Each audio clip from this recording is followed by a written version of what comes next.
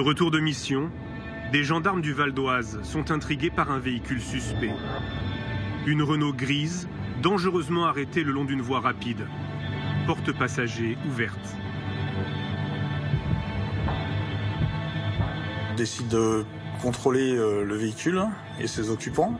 Je mets le gyrophare. À l'approche des gendarmes, un homme remonte précipitamment dans la voiture qui prend la fuite. Là, on part en course-poursuite direction euh, Sarcelles. Les gendarmes ignorent tout de l'identité des fugitifs.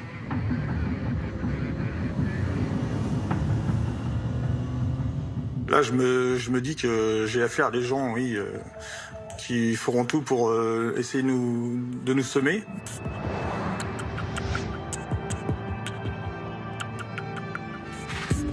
Poursuit le véhicule jusqu'à un rond-point où se trouve euh, l'église chaldéenne en direction de Sarcelles. Là, on fait deux fois le tour. Ils savent pas où ils vont. Je vois le passager qui oriente par des gestes euh, la direction à prendre. 400 mètres plus loin, un feu rouge bloque la circulation. La voiture des fugitifs est immobilisée. Donc là, on, descend du véhicule pour essayer d'interpeller euh, au moins le conducteur. Ah, c'est tendu, ouais. Au moment où on arrive dessus, euh, malheureusement, le feu repasse au vert. Et j'ai juste le temps de essayer de saisir son bras. Ma main heurte euh, sa tête, ce qui fait lui retirer sa casquette et ses lunettes. Sur le coup, j'ai pas reconnu. Les fugitifs redémarrent en direction de Sarcelles. Après 6 km de course-poursuite, leur voiture pénètre dans le parking souterrain d'un centre commercial. Arrivé au souterrain, euh, j'ai mis mon véhicule en travers pour bloquer euh, l'issue.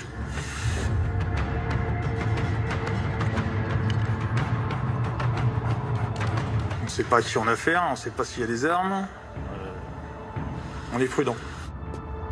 Le gendarme tente de suivre la piste avec son chien. La voiture est abandonnée, moteur encore allumé, mais aucune trace des passagers.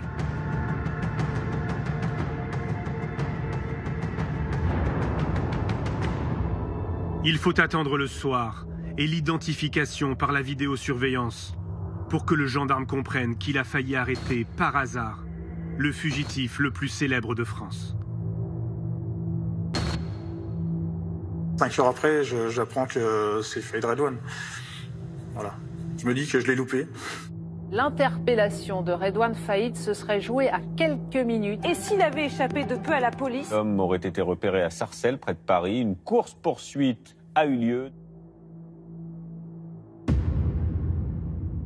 Juillet 2018. Redouane Faïd est le fugitif le plus recherché de France. Le voici sur des images inédites. Redouane Faïd, accompagné de son frère Rachid, visiblement très détendu avec les clients de ce café internet à Paris, bien loin de l'image d'un homme en cavale. Pourtant, 12 jours plus tôt, il s'est évadé de prison.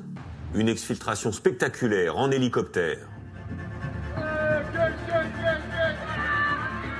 Ma réaction, c'est comment c'est possible qu'il s'évade encore, justement? Et je pense au départ spontanément à une, une blague. Nouvelle évasion du braqueur Redouane Faïd. Redouane Faïd est de nouveau en cavale. Une nouvelle fois, le criminel de 47 ans fait la une des médias. Car depuis 2010, Redouane Faïd est devenu un habitué des plateaux de télévision. Bonjour Redouane Faïd. Bonjour. Merci d'être là. Depuis la parution de son livre, dans lequel il raconte sa vie de braqueur. Faïd se présente comme un repenti, On va tourner la page, et puis maintenant c'est mieux comme ça. jusqu'à l'attaque ratée d'un fourgon blindé et la mort de la policière municipale Aurélie Fouquet. Soupçonné d'être l'organisateur du braquage, Redouane Faïd retourne en prison. Il s'évade une première fois en 2013. Il nous dit Faites pas les cow-boys, ça sert à rien pour 1400 euros, ça, ça- c'est pas la peine, quoi.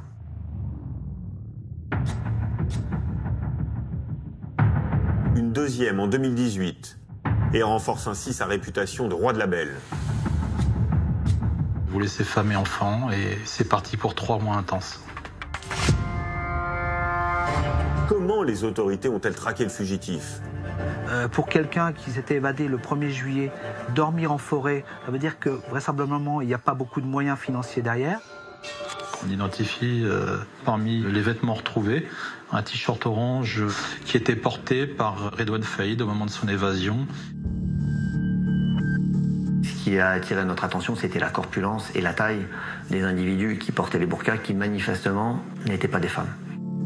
Y a-t-il eu des défaillances de l'administration pénitentiaire? Madame la ministre, quand une telle faillite est ressentie comme inévitable, c'est qu'il y a quelque chose qui ne va pas.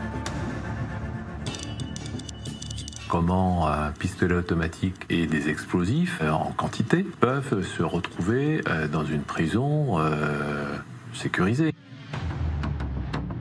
Donc là, on sait très bien que de toute façon, on nous attend à l'orée du bois, c'est évident. Je souhaite tirer toutes les conséquences qui devront en être tirées. Grâce à des témoignages exclusifs, Cellule de crise vous plonge au cœur de la traque de l'homme le plus recherché de France.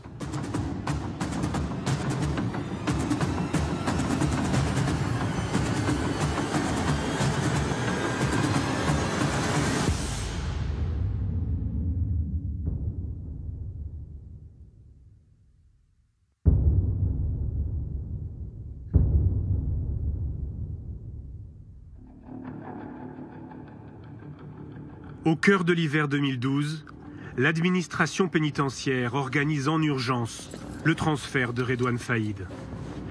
Le directeur de la prison de Fresnes, où il est détenu depuis dix mois, est convaincu que le braqueur prépare une évasion. Dans un rapport à sa hiérarchie, il détaille les informations en sa possession.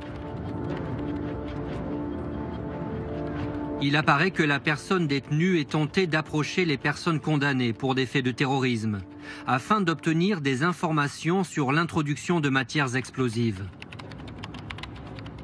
Ces éléments laissent redouter une volonté de l'intéressé de se soustraire à son incarcération par le biais d'une évasion.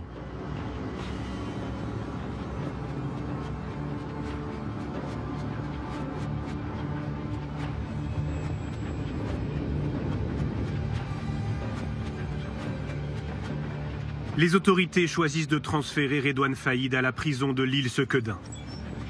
Un établissement ouvert en 2005 et réputé sécurisé. C'est un établissement qui est doté euh, de, Mirador, qui est doté d'un système de, vidéoprotection. C'est un parc pénitentiaire qui est en capacité de euh, garder euh, des profils sensibles, voire lourds.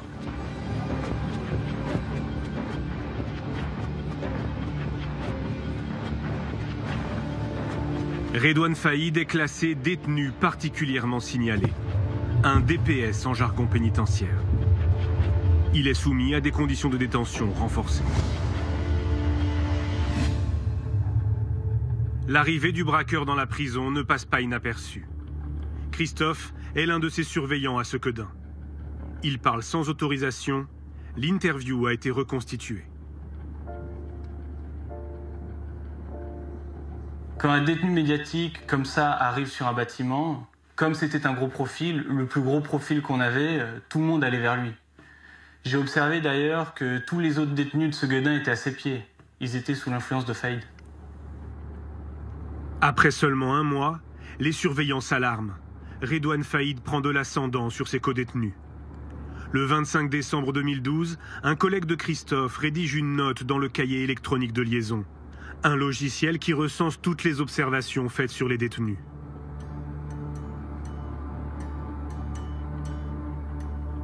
Il passe son temps à discuter énormément avec la personne détenue BS, mais également FA. Ces derniers pourraient être sous son influence pour un éventuel mouvement ou autre au sein du bâtiment B, à surveiller de très très près. Malgré cette alerte, Progressivement, la tension des surveillants se relâche.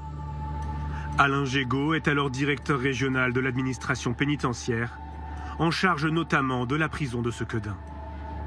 Faïd Redouane euh, va être extrêmement respectueux avec le personnel, euh, il va faire en sorte de se faire euh, oublier, il n'y aura pas d'incident avec, avec un délinquant comme celui-là.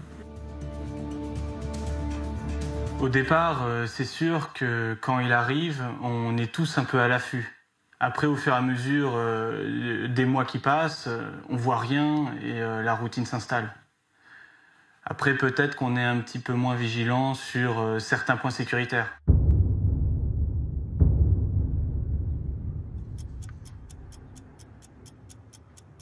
Depuis quatre mois et demi, Redouane Faïd est un détenu exemplaire. Ce matin-là, il a rendez-vous avec son frère Abdeslam pour un parloir, comme c'est le cas deux fois par semaine. À la main, son sac de linge sale qu'il doit remettre à son frère. En dépit de son statut de détenu signalé, Redouane Faïd n'est soumis à aucune palpation de sécurité en sortant de sa cellule. Il descend au parloir situé au rez-de-chaussée de la prison, près de la cour extérieure.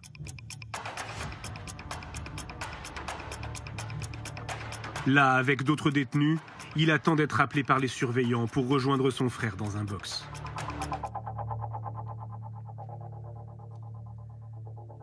Gérard Carré attend lui aussi pour un parloir.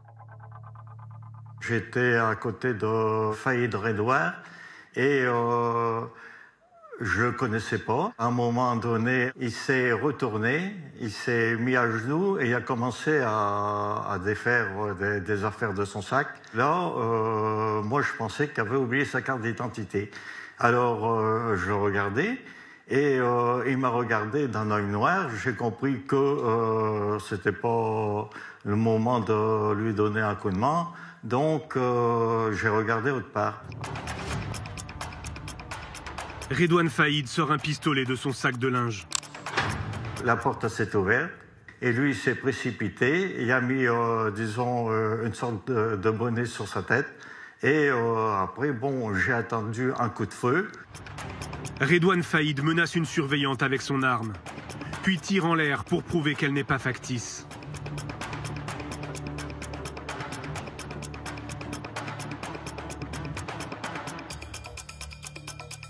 Du côté famille, Isabelle attend dans un box pour une visite.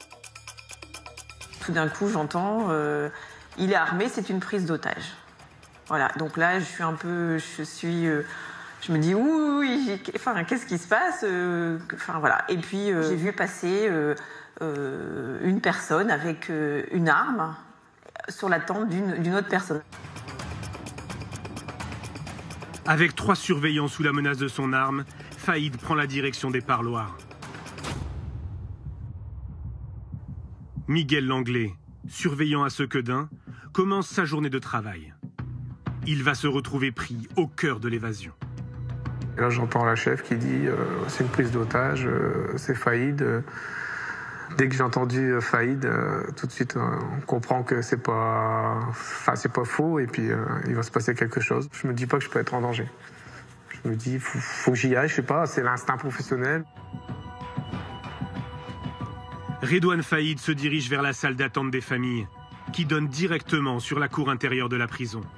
Il détient trois surveillants en otage. Depuis la fenêtre du couloir, Miguel Langlais observe la scène. Il y a une petite lucarne, et là je vois qu'à l'intérieur, il est en train de mettre quelque chose sur la porte en face. Et là, il me voit, et il me dit, écoutez là, tu restes là.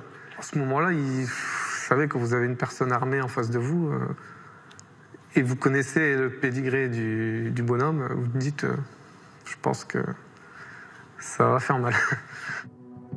De son sac, Redouane Faïd sort un pain de plastique qu'il pose sur la porte. Puis il écarte les surveillants. La porte euh, explose et il y a un bout de serrure qui passe à 10 cm de ma jambe. Bah, la première explosion, elle me surprend parce que euh, on bouge pas les oreilles. J'ai jamais entendu une explosion aussi forte, à part les pétards. Donc, euh, bah, je me dis, euh, ça y est, on y est. Hein. ça n'existe pas que dans les films. Redouane Faïd se retrouve dans la cour intérieure avec ses quatre otages. Il emprunte le chemin dédié aux familles qui rendent visite aux détenus. Il sait où il doit aller, exactement où il doit aller. On n'a même pas besoin de lui dire euh, voilà, voilà, voilà. Il sait exactement où il doit aller. Alain Gégaud est chez lui lorsqu'il est prévenu de l'évasion par le directeur de la prison de Sequedin.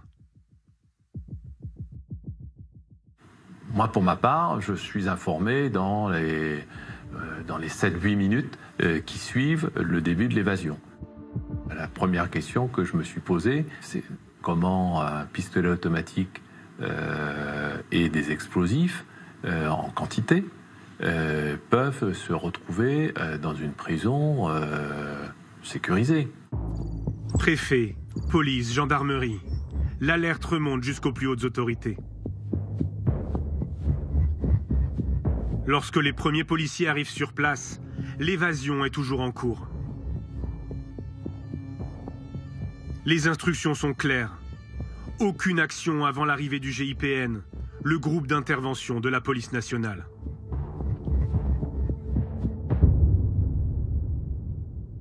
À l'intérieur de la prison, toujours muni de ses pains d'explosifs, Faïd fait sauter une deuxième porte.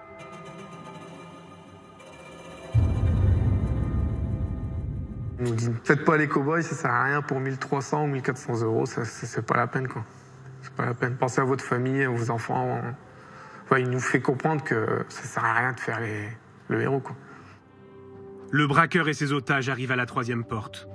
Les surveillants des Miradors sont armés. Pour éviter d'être pris pour cible, le détenu demande aux otages de former un bouclier humain autour de lui.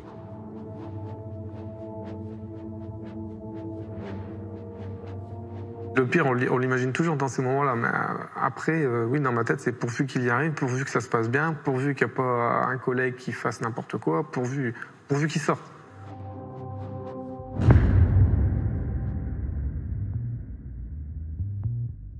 Redouane Faïd fait sauter la dernière porte, celle qui le conduit à l'extérieur de la prison. 24 minutes se sont écoulées depuis le début de la prise d'otage. Le braqueur se retrouve face aux policiers. Les premiers intervenants sont là. Ils assistent en fait à la fin de l'évasion. Ils se situent à l'extérieur, évidemment, de la maison d'arrêt, et euh, ils voient la dernière porte euh, exploser, Euh, avec euh, la fumée, l'odeur qui se dégage. Ils ne peuvent pas agir sans mettre en danger la vie des otages. La numéro 2 de la PJ lilloise est accablée. Ce sont ces équipes qui ont arrêté Faïd en juin 2011. Quand on apprend l'évasion de Faïd Redouane, euh, l'équipe est quelque part en rage. Parce que c'est quand même un camouflet pour la puissance publique qu'un homme de, cette dangerosité s'évade d'une prison. Le braqueur et ses otages longent la prison en courant sur 500 mètres, jusqu'à un pont situé sous l'autoroute. Là, un complice attend Faïd dans une voiture.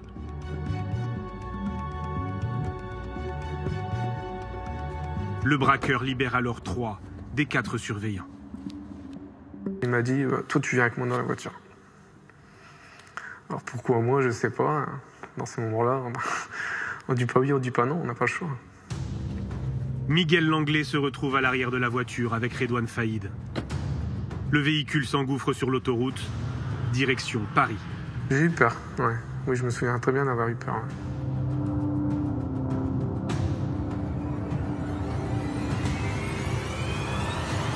Je lui dis, euh, me lâche pas dans une banlieue ou un truc comme ça, parce que en uniforme, ça va pas le faire, quoi.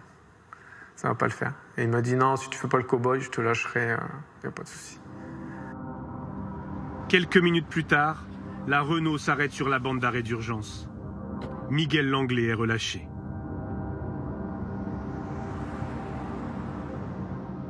Ah là, tout s'effondre.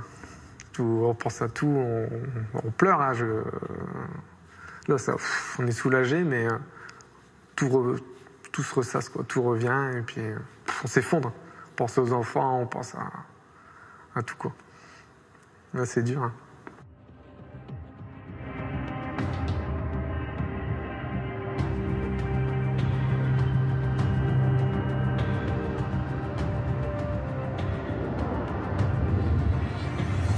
Le véhicule de Redouane Faïd et son complice sera retrouvé à 6 km de là, sur la commune de Ronchin. Brûlé. C'est là qu'on perd la trace du braqueur.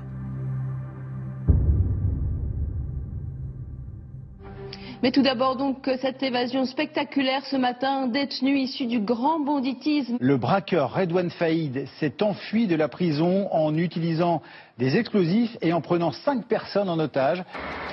Redouane Faïd est le fugitif le plus recherché de France. Des barrages sont mis en place, des gendarmes déployés, des hélicoptères mobilisés.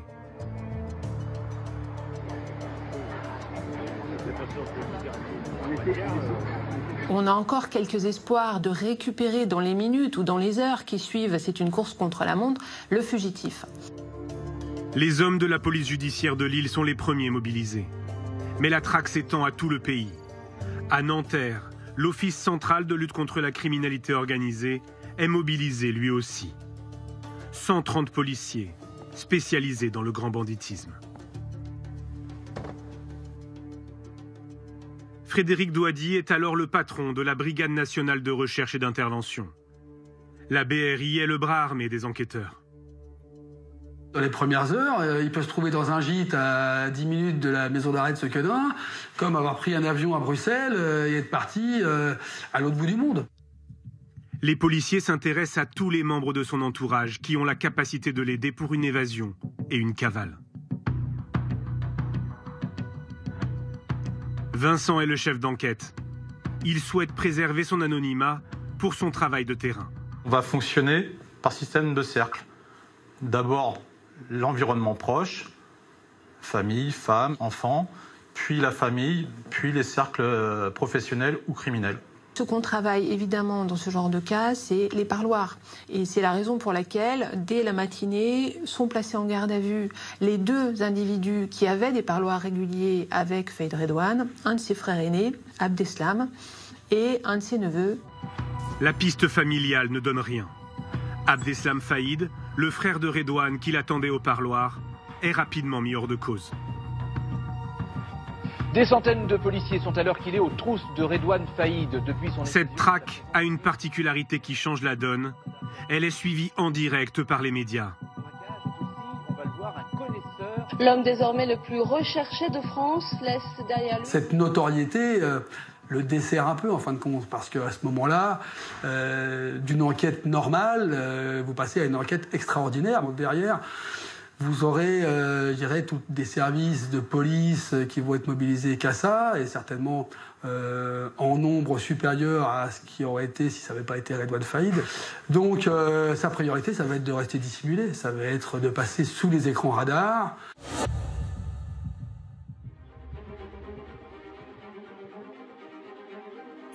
À quelques kilomètres de Nanterre, place Vendôme, la ministre de la Justice tient une réunion de crise. Henri Mass, le numéro un de l'administration pénitentiaire, a été convoqué en urgence par Christiane Taubira. Elle est comme tout ministre dont un des services a été pris en défaut par un événement euh, brutalité, par une crise, si vous voulez. Donc elle, nous demande de, lui fournir des éléments d'explication. Qui autour de lui a pu l'aider? Il y a euh, quels, sont ses antécédents? Donc quel, est son niveau de dangerosité? Bon, euh, pour les forces de police et de gendarmerie, euh, quelle est sa détermination? Où est-ce qu'il il a pu aller? Pour Christiane Taubira, l'évasion de Redouane Faïd tombe mal. La ministre de la Justice planche depuis plusieurs mois sur une vaste réforme pénale qui défend des peines alternatives à la prison. Ses détracteurs l'accusent de laxisme et l'évasion à coups d'explosifs d'un détenu comme Faïd leur donne du grain à moudre. Et puis elle, elle décide d'aller à Lille, ce que nous faisons immédiatement ensemble.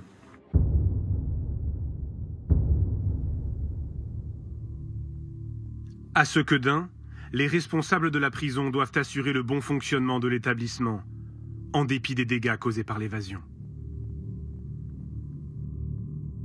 La prison, après la sortie de, de Redouane Faïd, euh, se trouvait dans, une situation d'insécurité euh, totale, puisqu'il n'y avait plus de porte d'entrée.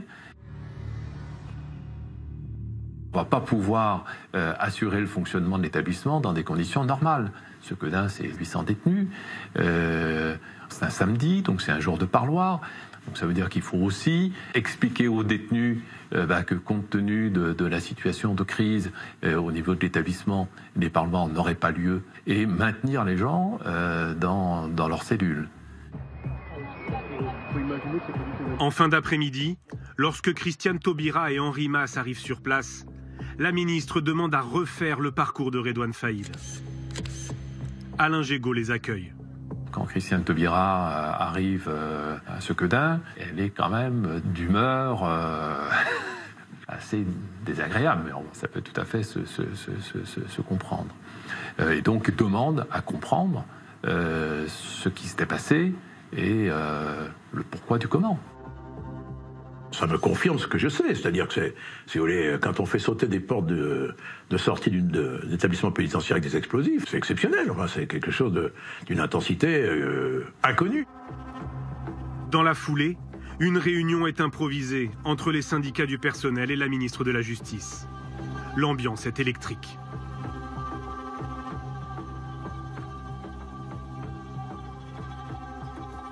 Stéphane Le Serre, représentant local des surveillants, est sur place depuis le matin.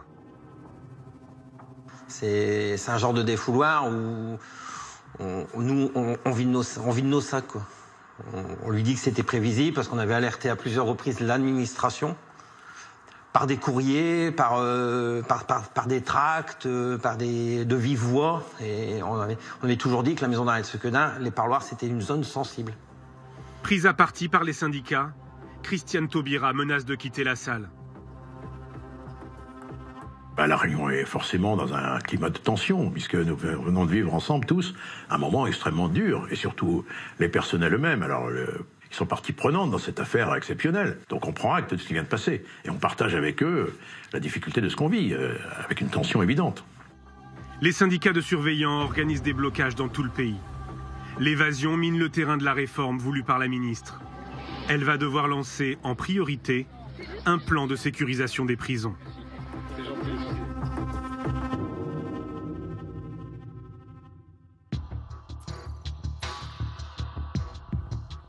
À Nanterre, pour retrouver le fugitif le plus recherché de France, les policiers déploient d'importants moyens de surveillance.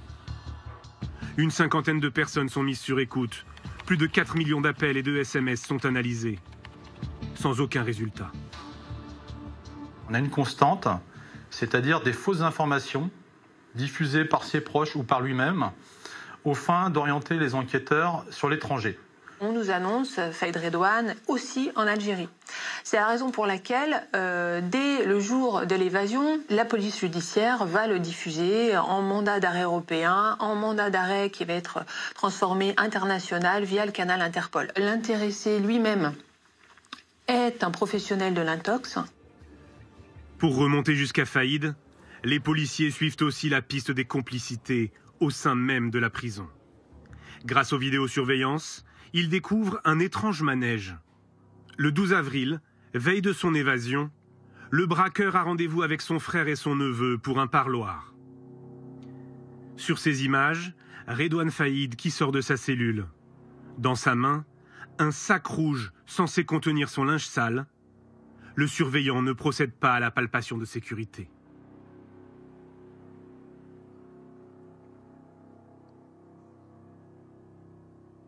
Faïd salue des détenus, puis entre dans le local d'entretien dont l'accès lui est normalement interdit.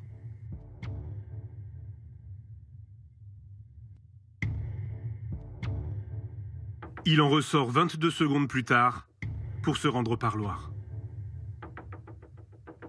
Qu'a-t-il fait ou déposé dans ce local-là Toujours est-il qu'un chien spécialisé dans les matières explosives va remarquer au niveau d'un casier dans ce local-là Pour les enquêteurs, Redouane Faïd vient de récupérer son arme et les explosifs. Il descend au parloir, mais celui-ci est annulé. Son frère et son neveu ne se sont pas présentés. Dans le jargon pénitentiaire, c'est ce qu'on appelle un parloir fantôme. Redouane Faïd revient en cellule. Comme le parloir n'a pas eu lieu, son sac de linge sale n'est pas fouillé. Par la suite, Faïd Redouane va avoir un comportement atypique, puisque d'ordinaire, il assiste à l'ensemble de ses promenades, il va à la bibliothèque ou à la musculation. Or, suite à ce parloir fantôme, on va constater que Redouane Faïd va regagner sa cellule et ne sortira plus du tout jusqu'au lendemain matin dans le cadre de son évasion.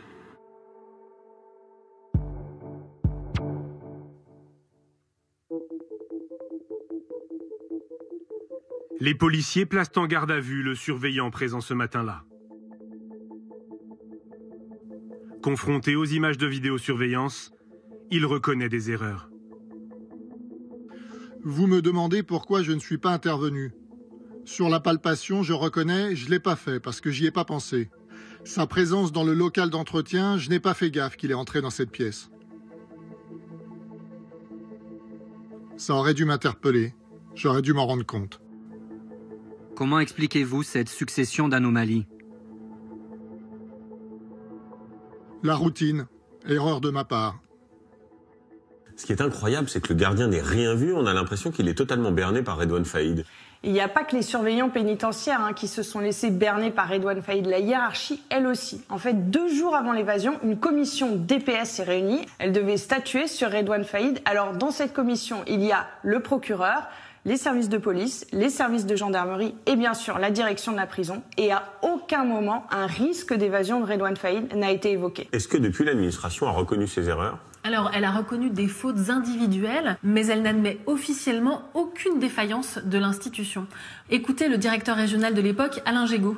Le type, il est seul en cellule. Sa cellule fait l'objet de contrôles réguliers. Il est pris en, charge quand, il, euh, quand il y a des mouvements euh, à l'intérieur de la prison, quand il sort. Qu'est-ce que vous voulez faire de plus par rapport à la prise en charge d'un détenu?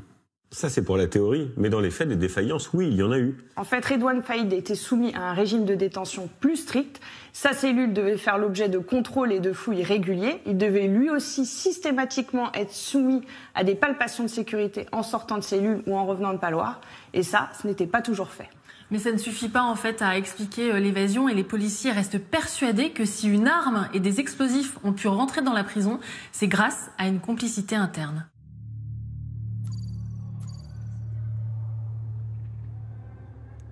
À la maison d'arrêt de Sequedin, l'enquête se poursuit pour identifier les complices qui ont pu faire entrer l'arme et les explosifs. Quasi tout le monde se soupçonne. Tout le monde se demande si... Enfin voilà, on se pose plein de questions à savoir qui, comment, pourquoi. C'était une ambiance, oui, glauque. Glauque, euh, difficile à vivre. Les policiers suspectent un autre surveillant. Selon certains détenus, il serait connu pour faire entrer toutes sortes d'objets illégaux dans l'établissement. Il est placé en garde à vue.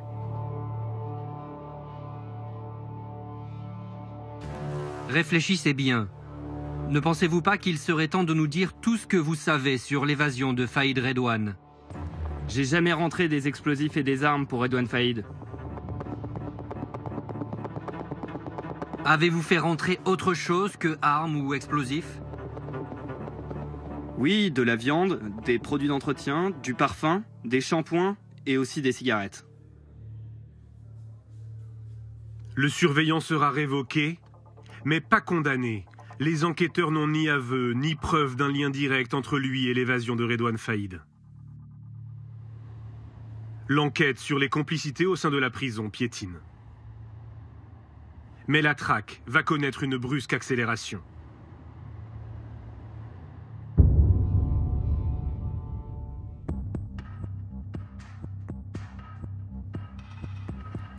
Quarante jours après l'évasion, les policiers reçoivent une information d'un de leurs indiques. Redouane Faïd aurait passé plusieurs nuits dans un hôtel de Roissy. Le fugitif serait accompagné d'un autre homme. Ils circuleraient ensemble, à bord d'une Peugeot grise sur ce type d'affaires, on peut euh, avoir des tuyaux bah, de gars qui ont vraiment un intérêt à donner une information euh, qui permettrait peut-être, à minima, euh, de le localiser ou d'identifier certains de ses complices. Ab on ne sait pas si l'information elle est bonne, elle est mauvaise. Donc on va l'exploiter en allant récupérer dans tous les hôtels du secteur de Roissy, il y en a quelques-uns, euh, les bandes vidéo, les parkings, euh, les vidéos qui sont euh, dans les hôtels en question. Image par image, les policiers épluchent des centaines d'heures de vidéos d'hôtels et de parkings. Un détail inattendu attire leur attention. Un des opérateurs de la BNRF va constater le comportement suspect d'un individu sortant la tête de l'habitacle pour insérer son moyen de paiement au niveau de la barrière. Sauf que lorsqu'il va remettre sa tête dans l'habitacle, apparemment, il est muni d'un postiche puisque la perruque va bouger. Donc c'est à partir de ce moment-là qu'on pense avoir Redouane Faïd. Pour la première fois depuis l'évasion, après six semaines de traque, les enquêteurs tiennent enfin une piste solide. À votre avis, on est content ou on n'est pas content? Évidemment qu'on est content. Entre le moment où on exploite ta vidéo et le moment où on se dit que c'est lui, euh, il n'y est plus. D'accord Il n'est plus à l'hôtel, hein. il ne nous attend pas, euh, pieds et poings liés, euh, en se demandant pourquoi on met autant de temps à venir le chercher. Donc, ça veut dire qu'on a, oui, on avance, on a, voilà, on a un fil à tirer.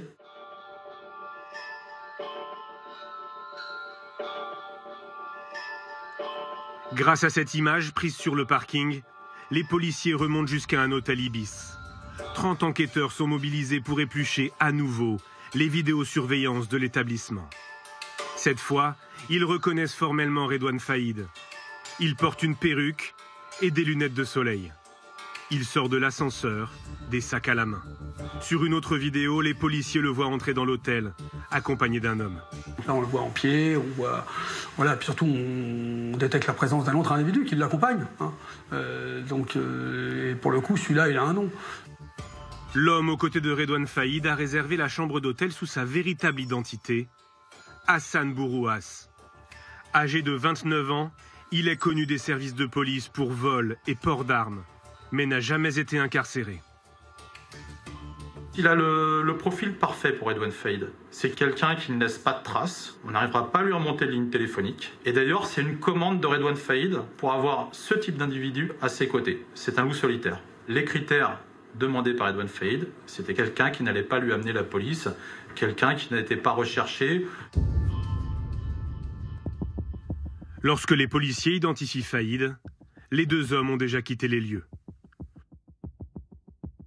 Pour retrouver leurs traces, les enquêteurs sollicitent les groupes hôteliers dans toute la France. Ont-ils une réservation au nom d'Hassan Bourouas? Le 28 mai, la confirmation tombe.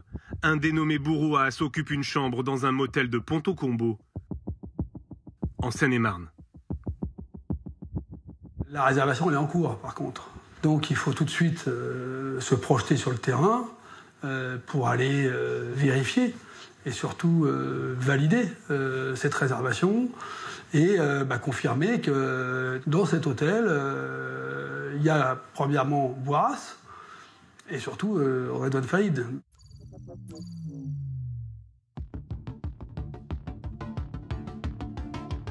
Un important dispositif de surveillance est mis en place. Une trentaine de policiers planquent dans des voitures sur le parking. Ils se font passer pour des clients ou du personnel de l'hôtel. Ils guettent le retour de Redouane Faïd et d'Hassan Bourouas. À 22h40, les deux hommes regagnent leur chambre. Leur présence sur place est confirmée par des policiers en civil. Voilà, on est suffisamment bien placé euh, pour euh, confirmer que c'est bien lui euh, qui utilise cette chambre et avec son homme de confiance. Donc une fois qu'il est dans la chambre d'hôtel, il y est. Donc euh, il ne leur sortira pas. La BRI nationale demande des renforts au PJ de Versailles et de Lille. Une centaine de policiers est sur place. Légalement, la police ne peut pénétrer dans un appartement avant 6 heures du matin. Mais dans les affaires de grand banditisme ou de terrorisme, les juges autorisent des assauts au milieu de la nuit. Le feu vert tombe par email à minuit 45.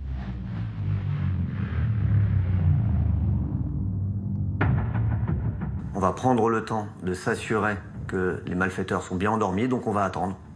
Tant pis, on ronge notre frein, mais on attend pour être certain que l'opération se déroulera dans les meilleures conditions. Faïd et Bourouas occupent la chambre numéro 38. Elle est au premier étage, à l'entrée de la coursive. Une équipe de la BRI se met en position. Pour ne pas donner l'alerte, aucun client n'a été évacué. Toutes les sorties de l'hôtel sont bloquées. On va encercler l'immeuble pour permettre ensuite à la colonne d'intervention de venir se positionner, mais au préalable, on a évité tout risque de fuite. Donc quand on est appelé sur ce genre d'événement, on a forcément euh, une petite appréhension. C'est one shot, hein. c'est pas, on n'a pas droit à un coup d'essai et puis on ne peut pas se reprendre si jamais on a loupé. Non, il faut être sûr euh, notre coup. Quoi. Après 46 jours de traque, la BRI donne l'assaut. La progression est annoncée par la colonne, qu'elle monte dans les escaliers, qu'elle s'approche de la porte, qu'elle va pénétrer dans les lieux. Évidemment, il y a le top interpellation qui est, qui annoncé euh, au moment où la porte est ouverte. On a quelques secondes de silence et puis euh, l'annonce du résultat de l'opération. Objectif serré, interpellé, et c'est surtout sans incident. L'opération a duré quelques secondes. Aucun coup de feu n'a été tiré. Redouane Faïd n'oppose aucune résistance. Il a vite compris bah, qu'il ne pouvait pas jouer. Il sait qu'il ne pourra pas s'échapper. La différence de- d'individus qui pourraient être radicalisés, euh, de malfaiteurs jusqu'au boutiste, on sait que Redouane, s'il a une porte de sortie, il va essayer de, l'utiliser. S'il y, a, un petit trou de souris, il va vouloir le prendre. Mais là, il ne peut pas. Donc, euh, comme il n'a pas envie de mourir, bah, il ne fait rien.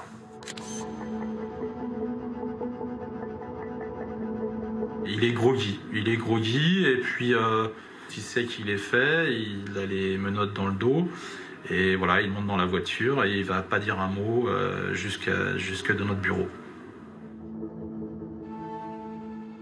C'est l'info du jour, l'arrestation de Redouane Faïd. La cavale est terminée pour l'ennemi public numéro un. Interpellé dans la chambre d'un hôtel, euh, Redouane Faïd, qui était grimé puisqu'il portait une perruque et une barbe.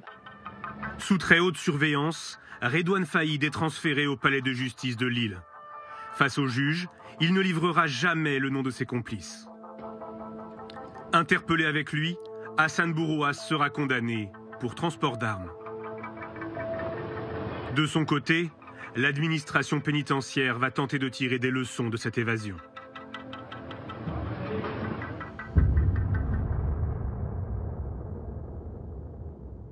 Vous découvrez les images de la garde des Sceaux, la ministre de la Justice. C'est tout de même assez exceptionnel de voir euh, Madame Taubira entrer à l'instant dans le studio d'Europe 1 pour répondre dans quelques minutes aux questions de Jean-Pierre Elkabbach dans, dans ce drôle de décor, Maxime. Pendant six jours, Christiane Taubira ne s'exprime pas publiquement sur l'arrestation. Puis elle choisit la prison même où Redouane Faïd est incarcéré pour une interview exclusive sur son nouveau plan de sécurisation des prisons. Xavier Yvon. Depuis Robert Badinter en 1976 à Fresnes, aucun ministre de la Justice n'avait accepté de faire une émission en direct d'une prison. Euh, vous lancez, Christiane Taubira, un plan pour renforcer la sécurité dans les prisons. 33 millions d'euros seront consacrés à de nouvelles technologies de surveillance. Est-ce qu'une nouvelle évasion de Redouane Faïd, qui est ici à Fleury-Mérogis et qui écoute peut-être s'il a une radio, ou d'autres détenus, deviendra impossible je à ne de- fonctionne pas aux faits divers et je n'établis pas un plan de sécurité de 33 millions d'euros sur la base de l'évasion d'un individu. Et ce plan gouvernemental annoncé, on l'a vu, à grand renfort de communication, qu'est-ce qu'il va changer? Eh bien, plusieurs dizaines de millions d'euros vont être investis pour empêcher que des objets rentrent illégalement en prison. Ce sont par exemple des portiques, comme on peut en voir dans les aéroports, ou bien des filets pour empêcher que des objets soient projetés par-dessus les murs. Et c'est efficace? Apparemment non, puisqu'à Condé-sur-Sarthe, il y a quelques semaines, la compagne d'un détenu a fait entrer illégalement un couteau en céramique avec lequel deux surveillants ont été agressés. Ce plan, il vient aussi renforcer les mesures de sécurité encadrant les DPS, les détenus particulièrement signalés. En fait, l'évasion de Faïd a révélé des pratiques très différentes en fonction des établissements. Donc un nouveau texte va venir harmoniser et renforcer ces mesures de sécurité. Bien, on imagine qu'avec toutes ces mesures, ce plan, ces millions qui sont investis, une évasion de Redouane Faïd est désormais impossible. En théorie, oui, et pourtant, il va y parvenir en organisant lui-même sa propre exfiltration.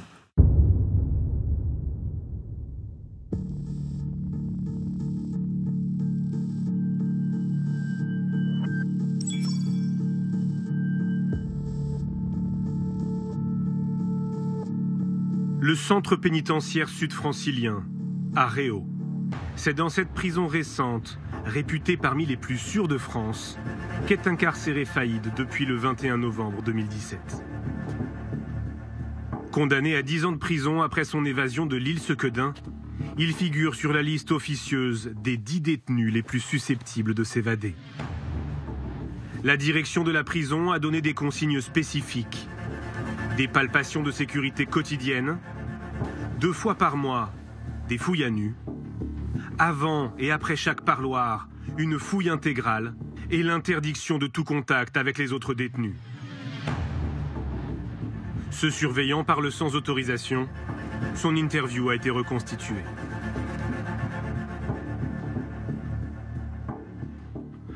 Quand il allait au téléphone, tout son secteur était bloqué. C'était le seul détenu que j'ai vu en France pour qui on bloquait même le personnel. On le bloque, on bloque tout le monde. Il passe avec deux surveillants et un gradé du quartier d'isolement, comme une star.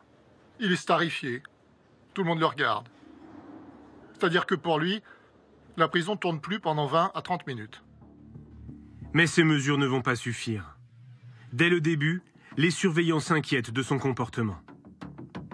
Edouard Faïd, il scanne. Il scanne les lieux. On a l'impression qu'il mesure euh, euh, chaque centimètre carré et il maîtrise son espace.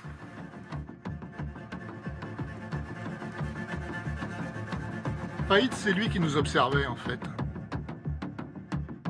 Il prend ses marques, il prend ses repères, il s'habitue. Les agents font remonter ces observations à leur hiérarchie. À partir de janvier 2018, moins de deux mois après l'arrivée de Faïd, la direction régionale envoie des emails d'alerte auprès de la direction de l'administration pénitentiaire. La direction régionale de Paris réitère la demande de transfert en urgence, par mesure de sécurité et surtout pour éviter un incident très grave.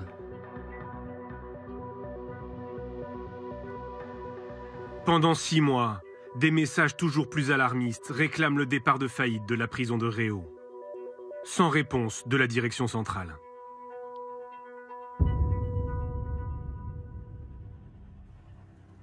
En février 2018, les surveillants de Réau soufflent. Le braqueur est jugé en appel à Paris pour l'attaque ratée d'un fourgon blindé dans laquelle la policière municipale Aurélie Fouquet a été tuée. Le temps du procès, Faïd est transféré à Fleury-Mérogis. À l'issue de ce, procès, des peines seront prononcées à l'identique, peut-être plus. Voilà. Après, nous, ce que nous, ce que nous aurions souhaité sont des aveux, mais je pense que nous ne les obtiendrons pas. Redouane Faïd est condamné à 25 ans de prison pour association de malfaiteurs. Il se pourvoit en cassation.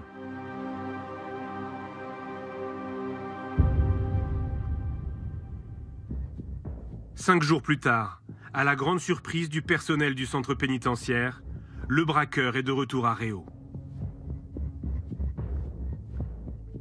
Des chefs qui l'accueille ce jour-là me dit Mais tu peux pas imaginer la réaction de Ridouane Faïd d'être agréablement surpris de se retrouver à Réau. Je pense que c'est pas la qualité de la bouffe euh, qu'il a, qui lui a manqué. Quand il revient, il est content. Il est content parce qu'il est dans un, environnement qu'il maîtrise. Dans un lieu connu, c'est plus facile de préparer quelque chose d'illicite. Moins de 15 jours après le retour de Faïd à Réau, la direction régionale redemande par email son transfert à l'administration centrale. Il a déjà repéré toutes les failles de la structure et la connaît trop bien maintenant. Nous savons par expérience que c'est juste une question de temps. Le 22 juin, après de nombreuses relances, la direction de l'administration pénitentiaire finit par répondre. Le transfèrement aura lieu dans le courant du mois de septembre. Cette réponse provoque la colère de la direction régionale. Je considère votre décision très dangereuse pour le centre pénitentiaire sud-francilien, pour le personnel et pour l'ordre public.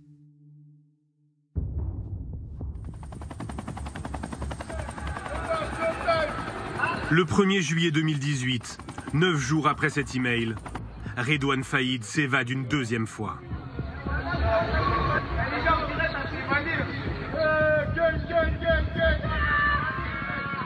Je reçois un coup de téléphone de mon adjoint chef de service qui me dit en ces termes euh, Faïd s'est barré. La spectaculaire évasion. L'évasion du braqueur Redouane Faïd. Je reçois un SMS sur un des téléphones qui me dit euh, Redouane Faïd s'est évadé. Et je pense au départ spontanément à une, à une, blague. Et ensuite, je regarde le deuxième téléphone et là, je vois que j'ai une vingtaine d'appels en absence. Et donc là, je comprends que je comprends qu'il y, a un énorme problème. Redouane Faïd s'est enfui de la prison de Réau à bord d'un hélicoptère. C'est un petit peu l'incrédulité quand même qui, qui m'envahit. Euh, parce que bah, c'est un détenu particulièrement surveillé. Les questions sur son évasion sont nombreuses. Ma réaction, c'est comment c'est possible qu'il s'évade encore, justement? Et d'un autre côté, alors qu'on est condamné à 25 ans de réclusion criminelle, comment ne pas envisager la suite des avis qu'au travers d'une évasion? Redouane Faïd est de nouveau en cavale.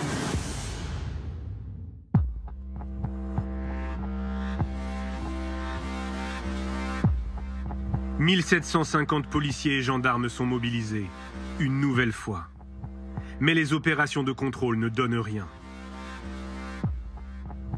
Aux côtés de la PJ de Versailles, l'Office central de lutte contre la criminalité organisée repart sur les traces du fugitif que ses équipes avaient interpellé cinq ans plus tôt.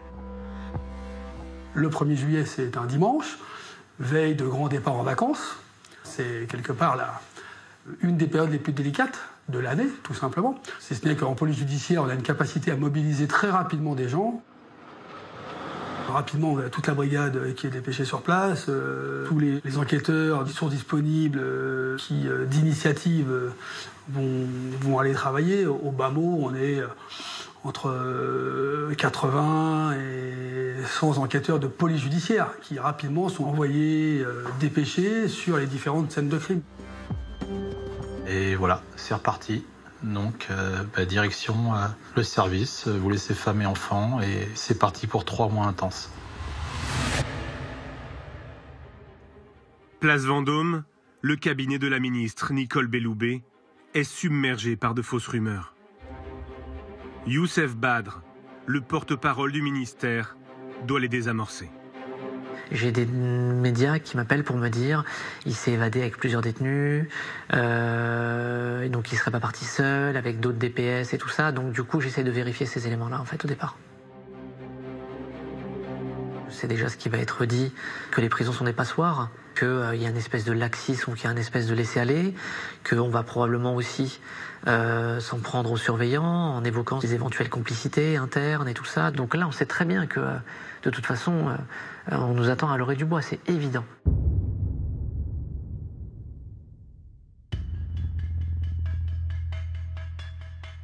En fin d'après-midi, le 1er juillet, la ministre se rend à Réau. Venu lui aussi soutenir les surveillants, le syndicaliste Régis Grava l'interpelle sur les demandes de transfert de Faïd. Je dis à la ministre, euh, il y a des éléments qui prouvent clairement qu'il y avait quelque chose qui se préparait et les agents vont remonter. Maintenant, qu'ont fait vos services Donc sa réponse est une réponse politique. Hein. Si on pouvait vraiment prévoir avec certitude, où elle dit qu'elle acquiesce, mais à mi-mot, et elle est super gênée par ça. Devant les journalistes, Nicole Belloubet ne met pas en avant la question des transferts, mais confirme une faille dans la sécurité de la prison. Nous avons là euh, un commando qui sans doute avait repéré les lieux par le biais de drones, l'enquête judiciaire qui est en cours le dira certainement, et qui a donc conduit à euh, cette évasion tout à fait spectaculaire en permettant à un hélicoptère de euh, se poser sur la, seule, euh, la seule cour de la prison qui n'était pas couverte par des filins de sécurité. En fait, bah, la première faille qui est identifiée, c'est ça. Et la première question que se pose la ministre, c'est de se dire pourquoi il n'y a pas de filin euh, anti-hélicoptère dans la cour d'honneur. On découvre juste que en 2011, lorsque l'établissement est livré, en fait, les filins anti-hélicoptères sont prévus dans le cahier des charges. Donc ils sont prévus sur la cour d'honneur. On ne saura jamais parce qu'on n'y était pas, mais on ne saura jamais pourquoi ils n'ont pas été installés. La garde des Sceaux livrera l'explication deux mois plus tard, devant une commission de l'Assemblée nationale. Elle est plutôt embarrassante pour l'administration pénitentiaire.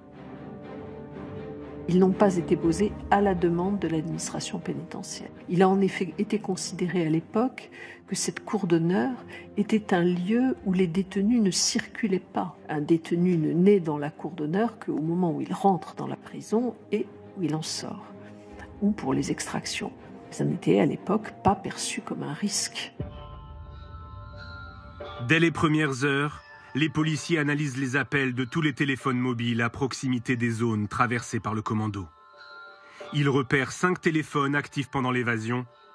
Ils n'émettront plus aucun signal par la suite. Ces téléphones sont ceux des complices de Faïd. Leurs déplacements permettent de reconstituer l'organisation très minutieuse de l'exfiltration.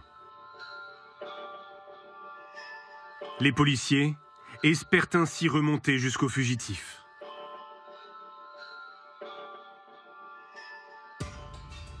Dès 8h30, le 1er juillet, une Renault Mégane noire se déplace sur la N104 en Seine-et-Marne.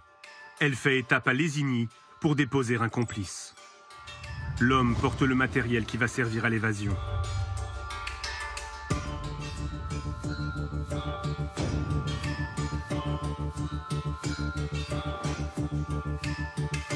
La voiture dépose ensuite les deux autres complices près de l'aérodrome de Logne. Se présentant comme un père et son fils, les deux hommes prétendent venir pour un vol d'initiation. Ils insistent pour voler en alouette, un vieil appareil capable de transporter quatre passagers, en plus du pilote.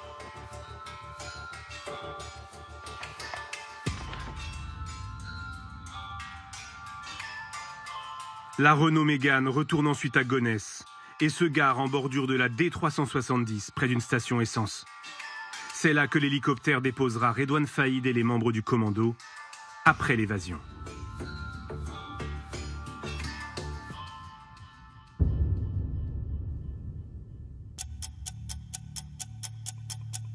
Au même moment, à la prison de Réau, Redouane Faïd est conduit au parloir, escorté par deux surveillants. Il est vêtu d'un t-shirt orange, détail qui va avoir son importance. Dans une synchronisation parfaite, le complice de la Mégane donne le top départ par téléphone au commando de l'hélicoptère.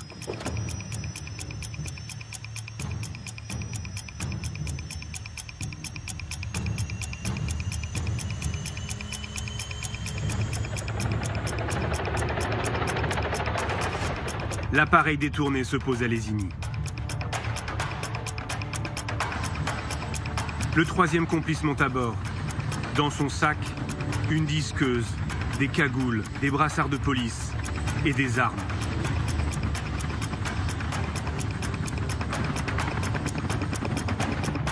Le commando est au complet.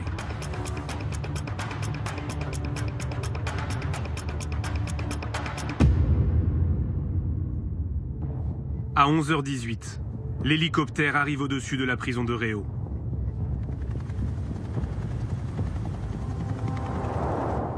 Les comptes rendus des surveillants permettent de reconstituer ce qui s'est passé minute par minute.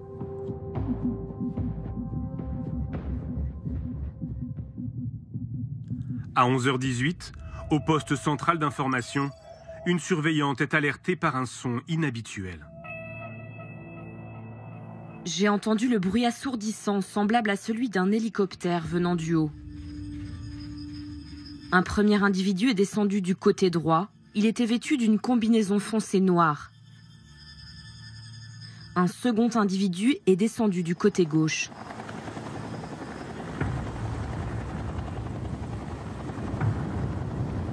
J'ai aussitôt appelé la police par la ligne directe. Celle-ci était en dérangement. À la porte d'entrée de la prison, le surveillant chef tente lui aussi de contacter la police sans succès.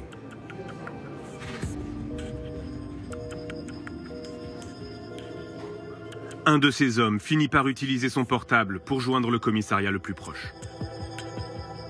À mon grand étonnement, on nous a dit c'est une blague. Au bout du téléphone, un policier demande aux surveillants de décliner leur identité, leur adresse, leur fonction, Devant tant de questions, nous nous sommes énervés. Nous lui avons demandé de nous prendre au sérieux et de nous envoyer des renforts tout de suite. Il nous a dit de nous calmer car il suivait la procédure et nous a reposé les mêmes questions.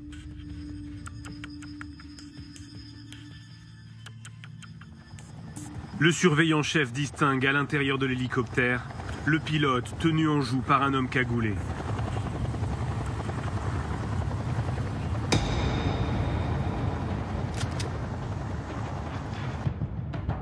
Les deux autres membres du commando entrent dans la prison en découpant une porte réservée aux forces d'intervention.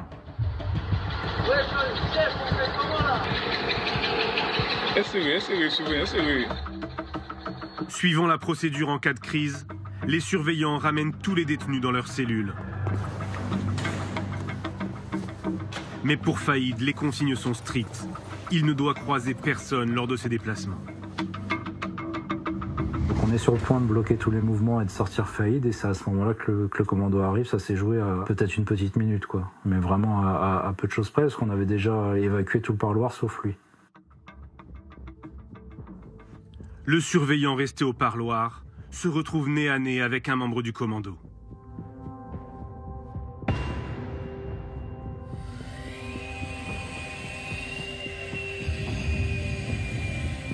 J'aperçois un individu cagoulé avec un brassard police qui coupe le pen de la cabine. Cet individu ne m'a pas vu durant sa manipulation. Sans arme, le surveillant est dans l'impossibilité d'intervenir. Redouane Faïd et ses complices rejoignent l'hélicoptère.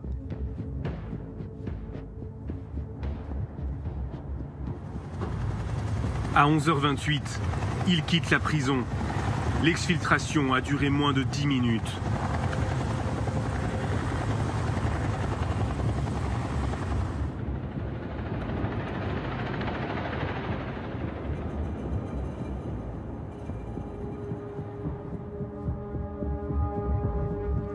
La police n'arrivera qu'après le décollage de l'hélicoptère.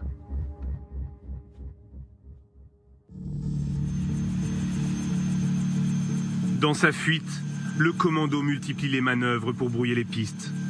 Après une cinquantaine de kilomètres de vol, l'hélicoptère se pose à Gonesse. Les fugitifs mettent le feu à l'appareil. Le pilote les voit prendre la fuite à bord de la Mégane. Ils se rendent ensuite dans le parking souterrain d'un centre commercial, en bordure de l'autoroute A1. À 11h49, les complices incendient la voiture. Faïd monte dans une kangou blanche garée par un complice. À 11h53, la vidéosurveillance du parking prend ce cliché. On y voit Redouane Faïd à la place du passager. La Kangoo rejoint la 1 et remonte vers Senlis. À midi 11, les lignes téléphoniques des membres du commando cessent toute activité.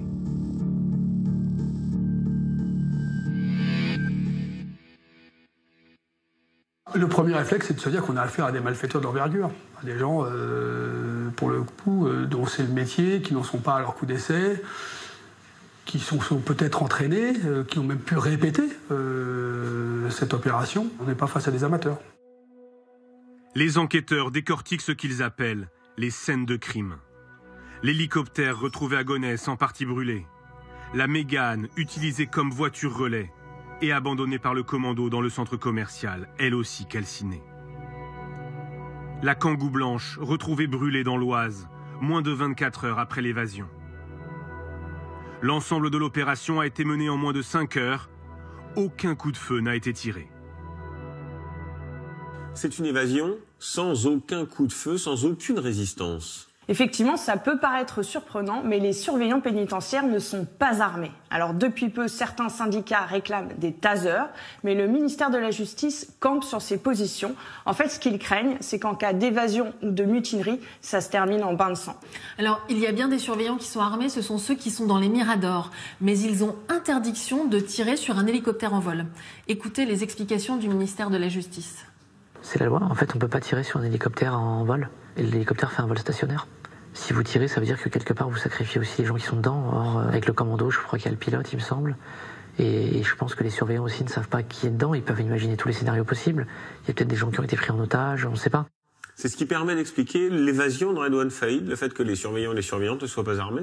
Alors c'est plus complexe que ça. Le cœur du problème, c'est ce transfert de Redouane Faïd qui n'a jamais eu lieu malgré les nombreuses alertes de la direction régionale. Oui, les échanges de mails euh, qui demandaient ce transfert de prison n'ont pas donné lieu à un transfert effectif. En effet, chacun se rejette la faute et dans cette administration réputée pour son mutisme, les fuites vont se multiplier. Dès le lendemain de l'évasion, le 2 juillet, le Figaro va révéler en partie cet échange de mails.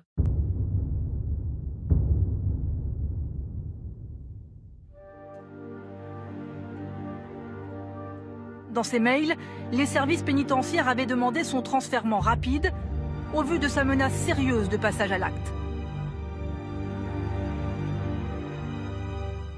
Là, vous avez euh, des échanges de mails qui sortent dans la presse, où tout le monde se tourne vers nous pour nous dire euh, bah, attendez, regardez, on nous avait alerté, on vous avait informé, et vous n'avez rien fait. C'est pas la réalité euh, de ce qui se passe. Et là, les fuites qui sont données sont en plus parcellaires et, donc forcément partiellement fausses. La personne qui fait sortir une information a toujours intérêt à la faire sortir. Je n'en ai pas tiré de conclusion à partir du moment où je ne savais pas qui le diffusait ou d'où la fuite émanait. ces mails traduisent la remontée du terrain qui n'a pas été suivi par ces décideurs. Ça permet euh, aux uns aux autres de, de dire la, la, vérité. Pourquoi l'administration centrale n'a pas pris la décision de faire bouger les douanes faillites? Avec ces fuites qui pointent des dysfonctionnements au plus haut niveau de l'administration pénitentiaire, Nicole Belloubet se retrouve en première ligne. Madame la ministre, quand une telle faillite est ressentie comme inévitable, c'est qu'il y a quelque chose qui ne va pas. À l'Assemblée nationale, lors de la séance des questions au ministre, les députés demandent des explications. Il y a pu y avoir des erreurs et les informations de la presse de ce matin, une demande sans suite de transfert vers un centre mieux sécurisé, nous interrogent. Nous voulons savoir ce que vous comptez faire pour tirer les conséquences de cette évasion. La parole est à Madame Nicole Belloubet, garde des Sceaux, ministre de la Justice. Je souhaite porter un regard clinique sur cette évasion et je souhaite tirer toutes les conséquences qui devront en être tirées. Je dis bien toutes les conséquences, y compris pour mesurer les défaillances et prendre les éventuelles sanctions qui s'imposeraient si cela est nécessaire. Au-delà des erreurs individuelles, ce qui est pointé dans cette affaire, c'est la responsabilité de toute l'administration pénitentiaire. Oui, nous nous sommes procuré cet échange de mails et nous avons le fin mot de l'histoire. Alors, face à la colère de la direction régionale, l'administration centrale propose finalement de transférer euh, Faïd à Fleury-Mérogis. Sauf que Fleury, c'est une prison qui est surpeuplée. Euh, Salah Abdeslam y est incarcérée. Elle a été ébranlée par le suicide de détenus, mais aussi de surveillants. Et surtout, surtout, Faïd la connaît déjà. Donc c'est l'impasse et aucune solution alternative n'est proposée. Alors cette question des transferts, hein, elle va être le révélateur de sérieux dysfonctionnements au sein de l'administration. Et Nicole Belloubet, la ministre de la Justice, va bien être obligée de les reconnaître. Écoutez-la. L'inspection relève une difficulté de ce point de vue. Autrement dit, euh, une insuffisante réactivité des gens qui sont aujourd'hui à l'administration centrale et qui ne répondent peut-être pas avec la réactivité suffisante à ce type de détenus à risque. Bien, c'est clair. La ministre pointe les responsabilités de certains cadres de l'administration pénitentiaire, mais aussi leur euh, décalage, leur déconnexion avec ce qui se passe sur le terrain dans les prisons. Et la crise est telle que Nicole Belloubet va annoncer une réforme d'ampleur et notamment la fusion des services qui s'occupent de la remontée d'informations depuis les établissements et ceux qui s'occupent des transferts. Et suite à cette crise, le numéro 2 de l'administration euh, pénitentiaire va être écarté. Officiellement, c'est dans le cadre de cette réforme, mais c'est lui qui avait supervisé le transfert de Redouane Faïd.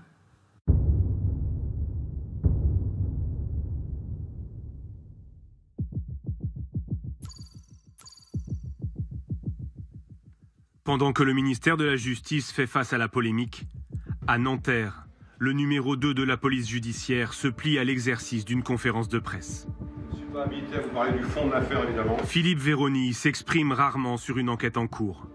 Mais la police veut montrer que la traque de faillite est une priorité.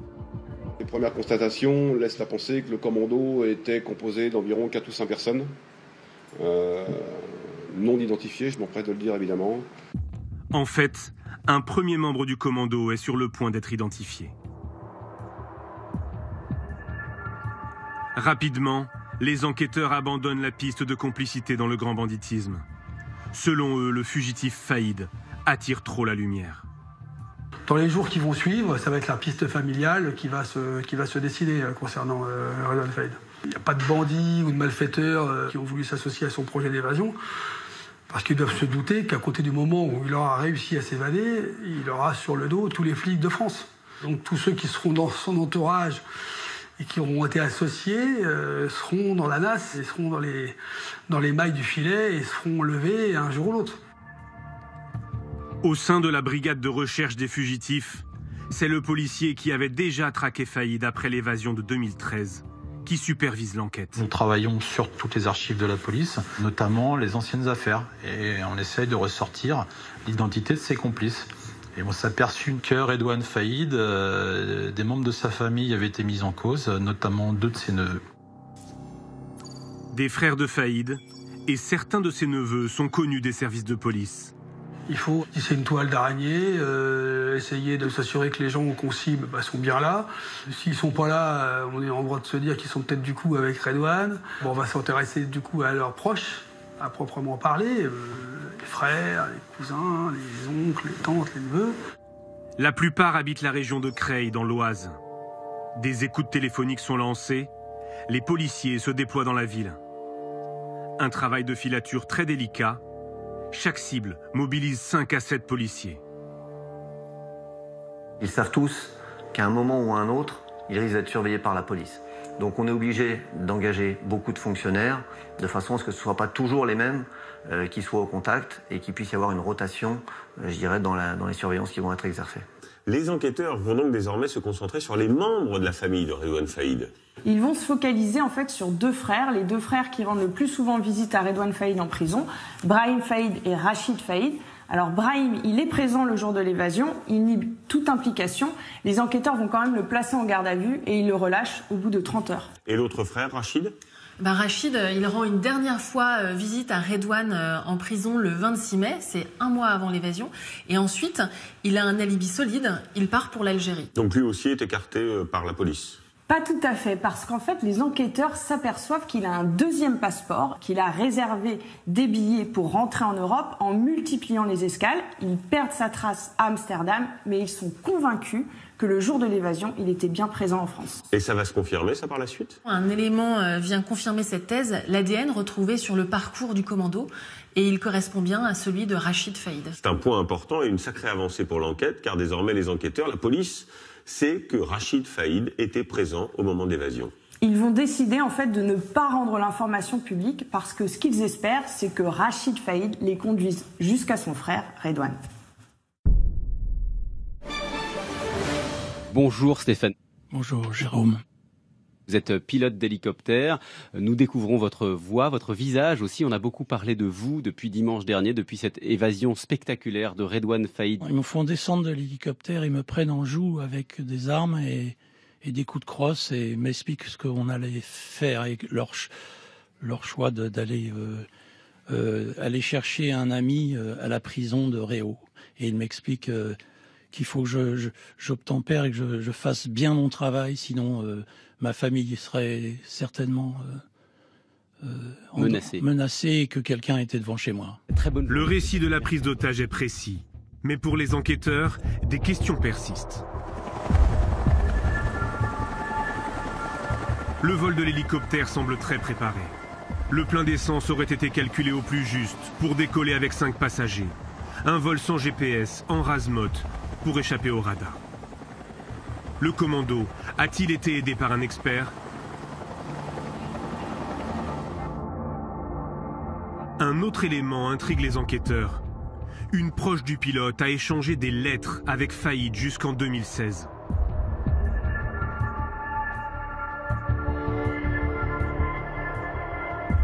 Neuf mois plus tard, le pilote et deux de ses proches seront placés en garde à vue.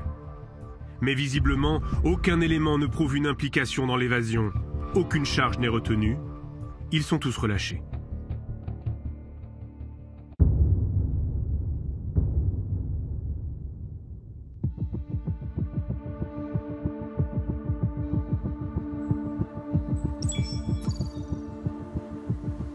Une découverte en forêt confirme la piste familiale. Les enquêteurs mettent la main sur du matériel utilisé par les malfaiteurs lors de l'évasion. Il a été retrouvé grâce au témoignage d'un chasseur. C'est quelqu'un qui a pour habitude de fréquenter cette forêt, qui est témoin d'un manège un peu suspect, qui voit des gens qui, à l'heure à laquelle il les croise, euh, manifestement n'ont rien à faire euh, dans ce secteur boisé euh, à proximité de Creil, qui va passer son chemin, qui va y retourner par la suite et qui va tomber sur des effets vestimentaires.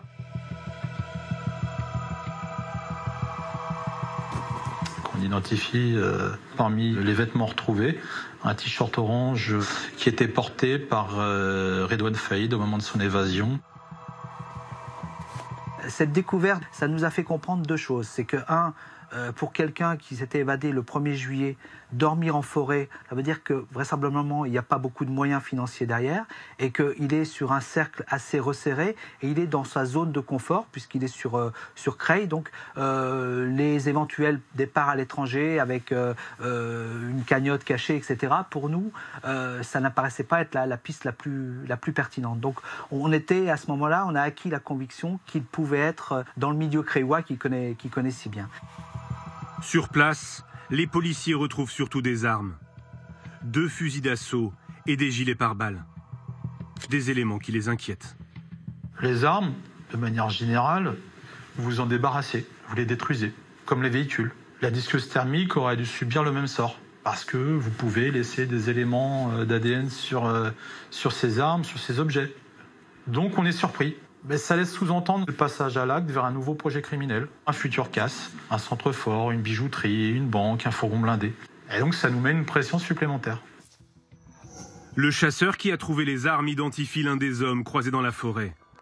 Il s'agit d'un neveu de Faïd, Isaac. Le témoignage confirme les complicités familiales, mais toujours aucune trace du fugitif. Un autre coup de chance va faire progresser l'enquête.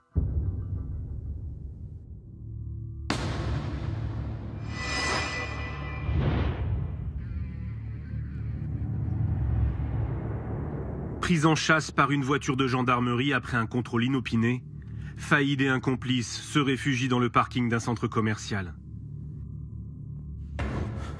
Ils parviennent à prendre la fuite à pied.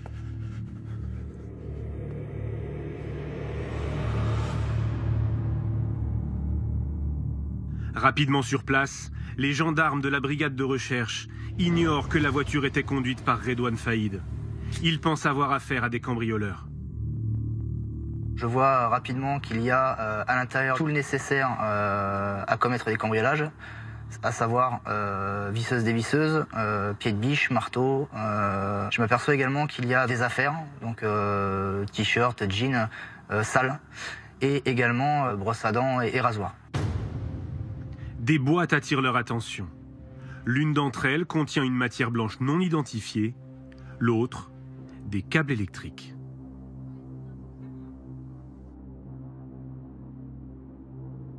Et là, mon collègue me dit immédiatement, oh là là, attention, euh, on dirait de l'explosif. Comme j'ai pas de formation en, explosif, euh, la crainte que j'ai à, cet instant T, c'est que euh, effectivement, le, le, bah, que ça vienne exploser et qu'on on dénombre pas mal de morts, étant donné qu'au-dessus de, du parking, on a quand même une salle de sport qui est bondée. on est au mois de juillet, donc il fait relativement chaud. Donc ouais, moi ma crainte à, à, ce moment-là, c'est effectivement que la matière se dégrade et qu'elle vienne exploser. C'est la capitaine Marie Lenéon qui lance l'évacuation. On a une trentaine de gendarmes qui arrivent quasi dans les 15 à 20 minutes. Donc on commence à faire un gel vraiment des lieux, à pousser les personnes. Et peu de temps après, je sais que la commissaire de Sarcelles arrive aussi avec un maximum de renforts. Et là, on a pu vraiment s'organiser euh, pour euh, vraiment interdire l'accès euh, dans un rayon de 300 mètres, 400 mètres aux personnes, faire évacuer le McDonald's, faire évacuer la salle de sport. Le soir même, les deux fugitifs sont formellement identifiés sur les images de vidéosurveillance. On y voit Redouane Faïd, la main dans un sac où il cache probablement une arme.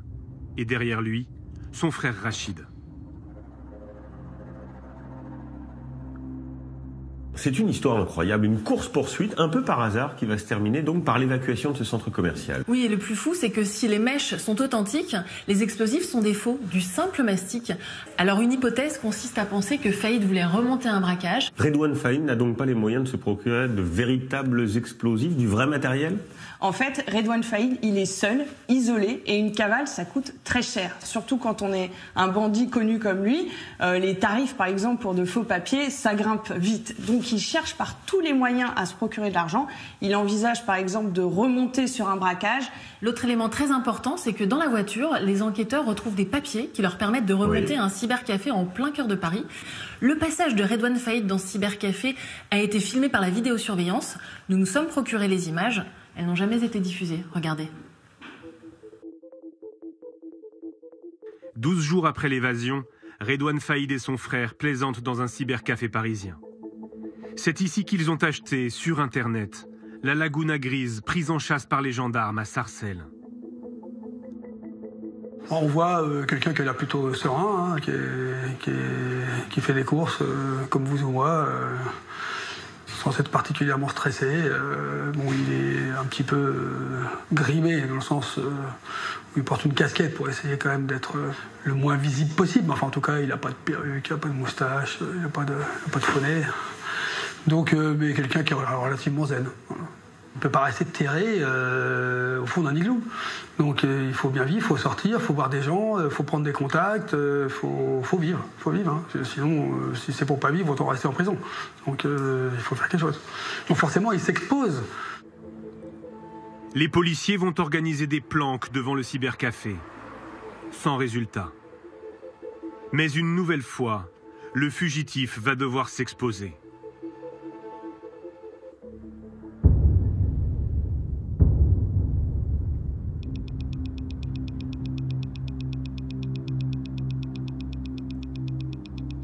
Des unités de la BRI se déploient dans la forêt de Creil. Grâce à des écoutes et des surveillances, les enquêteurs ont compris qu'un rendez-vous est organisé entre un neveu de Faïd et un réseau lié au grand banditisme.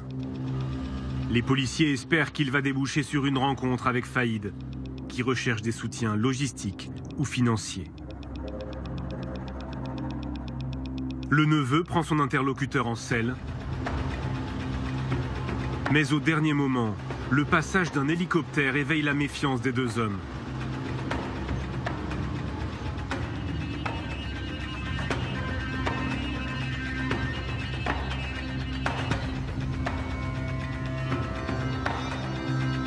Le rendez-vous n'aura pas lieu.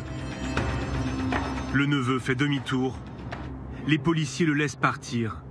Il est leur seul lien avec Faïd. Est-ce qu'on en sait plus aujourd'hui sur ce fameux rendez-vous secret? En fait, cette information, elle n'était jamais sortie euh, parce qu'on se trouve en pleine zone grise, hein, celle des indiques, des informateurs de la police, et les enquêteurs veulent en dire le moins possible, tout simplement parce qu'en fait, les bandits étudient leurs méthodes pour mieux les déjouer ensuite. Et après ce rendez-vous, que devient le neveu? Bah, D'une manière générale, en fait, les complices de Redouane Faïd se savent surveiller, ils redoublent de prudence. Et malgré les énormes moyens mobilisés, les heures d'écoute, de surveillance, l'enquête piétine. Les policiers ils vont explorer toutes les pistes. Alors il y a un chauffeur de taxi qui leur parle d'une conversation qu'il a entendue dans sa voiture, une journaliste qui tenterait d'avoir rendez-vous avec Redouane Faïd. Alors ce qu'ils vont faire, c'est avec l'accord des juges d'instruction, ils vont placer cette journaliste sur écoute et il y aurait même eu des filatures. Ce qui va poser question parce que ces pratiques sont contraires aux règles du secret des sources. Oui, d'ailleurs, sa chaîne BFM TV a annoncé son intention de porter plainte. Et cette piste du taxi, elle va mener à quelque chose? Cette piste, elle ne va mener à rien. En fait, la traque, elle est au point mort. Donc les policiers vont accentuer la pression sur l'entourage de Faïd pour faire un peu bouger les lignes et ils vont cibler tout particulièrement sa famille.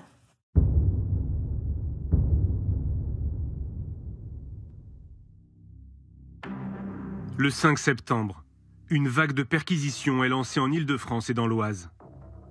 Les policiers cherchent à mettre la pression sur l'entourage de Faïd, dans l'espoir que l'un des proches sous surveillance commette une erreur.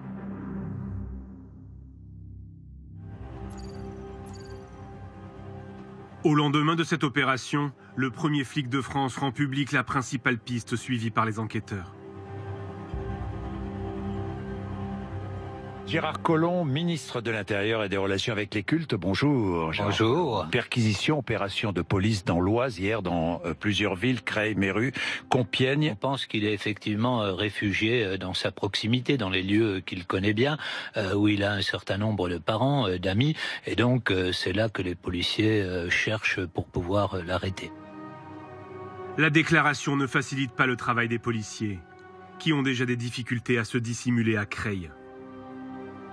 C'est une petite ville, euh, tout le monde se connaît, une petite ville dans laquelle il y a plusieurs quartiers difficiles, dans lesquels y rester longtemps euh, devient est quasiment impossible. Si on reste trop longtemps dans ce genre de quartier, on est détecté, ce qui pourrait mettre à mal euh, l'intégralité de l'enquête. À Creil, la BRI continue les planques et les filatures. Fin septembre, le changement de comportement d'un neveu de Redouane Faïd intrigue les policiers. Au gré de la surveillance euh, d'un des membres de la famille, on s'aperçoit qu'il euh, a des déplacements qui ne sont pas forcément euh, très cohérents par rapport à ce qu'on peut penser de son activité quotidienne, qui consistait d'ailleurs à rester majoritairement dans sa cité. Ça va attirer notre attention et nous laisser penser que peut-être à certains moments, il va pouvoir aller au contact de Redouane Faïd le téléphone du neveu leur permet de remonter jusqu'à un autre portable. C'est un téléphone qui avait une activité euh, euh, particulière, qui n'était allumé notamment que la nuit. Et donc les filatures engagées pour essayer d'identifier euh, l'utilisateur de ce téléphone nous amènent à identifier un véhicule. Ce véhicule, il va nous amener à Creil et à un immeuble on avait déjà en fait eu des informations sur la présence dans cet immeuble de manège un peu suspect.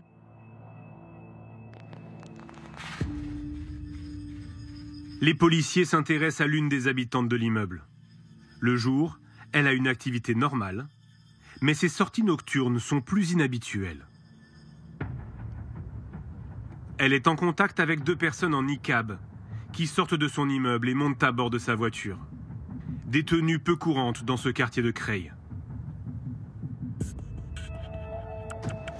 On va utiliser à la fois des moyens humains et, techniques pour surveiller cette, euh, euh, cette, adresse. Et on va revoir euh, de temps à autre ce, binôme et effectivement constater que la personne sous le niqab est assez grande, a du mal à se déplacer et qu'il y a de grandes chances pour qu'effectivement ce soit un homme.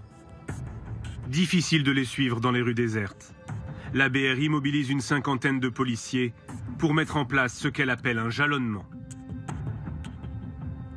Les gens de la BRI sont des gens qui sont complètement rompus à ces, techniques et qui, plutôt que de partir en voiture derrière une cible, préfèrent plutôt occuper le terrain, jalonner, euh, occuper la carte et euh, sur les grands axes et permettre de signaler des passages plutôt que d'être derrière j'allais dire à la queue leu euh, ou à 1h ou 2h du matin avec les phares, ça peut être, euh, ça peut être euh, très délicat. Au cours de la troisième nuit, l'utilisatrice du véhicule va déposer les individus à un autre véhicule.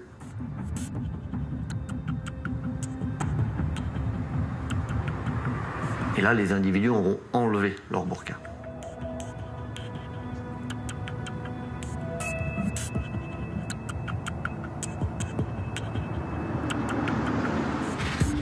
Extrêmement méfiants.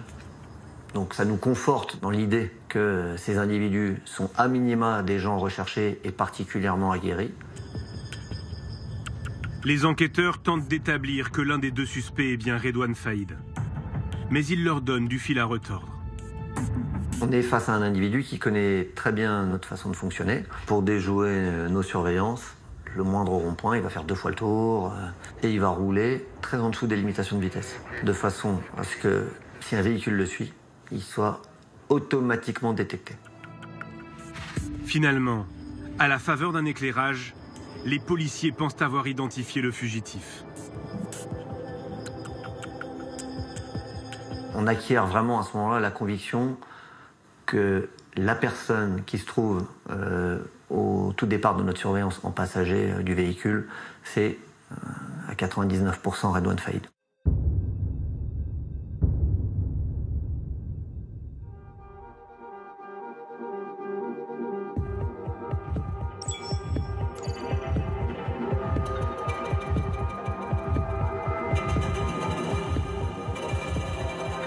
L'assaut est donné après 93 jours de traque.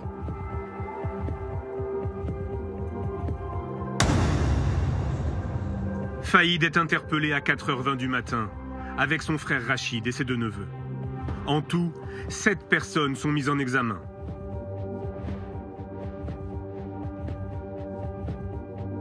Comme en 2013 et la fin de sa première cavale, le chef d'enquête est sur les lieux. Il me reconnaît, hein, je le vois dans son visage. Euh, il est assis menotté, mis à disposition par les groupes d'intervention. Euh, on a des armes euh, retrouvées à proximité de lui. Il est hagard, voilà. Il, sait que c'est perdu. Puis tout de suite, ben, voilà, le naturel revient au galop et il va nous demander qui l'a balancé assez rapidement, euh, il va se mettre à, à, parler, presque à sourire, quoi. Voilà, parce qu'il sait que, je pense qu'il a déjà en tête euh, le troisième projet. Redouane Faïd retourne en prison. Une cellule l'attend dans le centre de haute sécurité de Vendin-le-Vieil. Les mesures d'isolement sont encore renforcées. Pour cette nouvelle évasion, Faïd risque jusqu'à 20 ans de prison.